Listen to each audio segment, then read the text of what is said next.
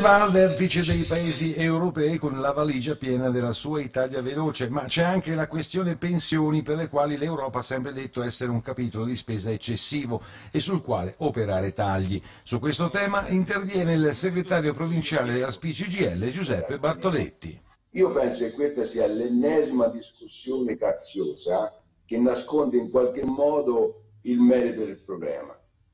Il merito del problema secondo me è un altro, secondo noi è un altro questo è un paese che in qualche modo ha subito la crisi negli anni passati e l'effetto del coronavirus in un modo pesante perché ha sulle spalle una serie di zavorte, una mancata innovazione tecnologica, un'idea diversa di cosa produrre, di come produrre e quant'altro.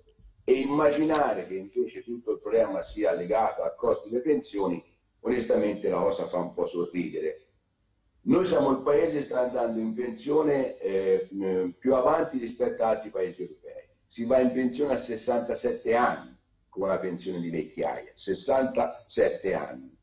E sappiamo benissimo che ci sono lavoratori e lavoratrici in alcuni posti di lavoro che a quell'età ovviamente come dire, lavorano male. Poi abbiamo un altro dato che forse andrebbe sottolineato, è che noi dal 2012 in questo paese le pensioni non vengono rivalutate. Guardando la provincia di Livorno si ha una popolazione complessiva di 335.000 abitanti con 95.000 pensionati, cioè il 31% del totale, tanti, tre quarti dei quali percepiscono una pensione netta dai 1.200 euro in giù, ma il territorio livornese è messo meglio di altre province per tipologia di lavoro premiante. La condizione dei punti essenziali sui quali ragionare, secondo Bartoletti, sono tre il destino dei giovani il primo. I giovani entrano al lavoro nella misura in cui c'è un processo di investimenti in questo paese.